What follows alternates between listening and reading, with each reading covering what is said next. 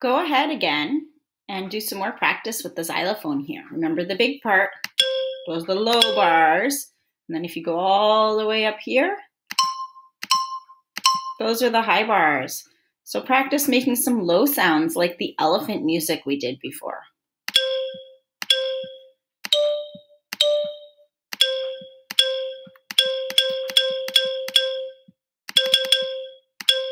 Kind of like that.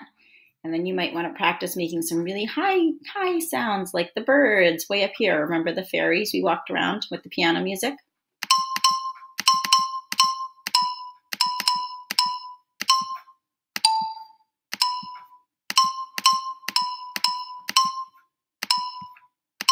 Just kind of high, high, high up there.